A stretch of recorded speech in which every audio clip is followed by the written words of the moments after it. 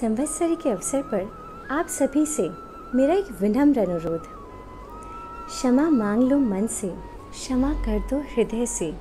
घोल दो बस प्रेम की मिठास, छोड़ दो ना मन की करवास। अनमोल रिश्तों में बंधी गांठें खोल भी दो।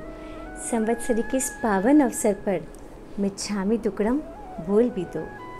खामे में सव्य जीवा सव्य जीवा खमंतु में। सबको क्षमा सबसे क्षमा मिच्छामी टुकड़ा।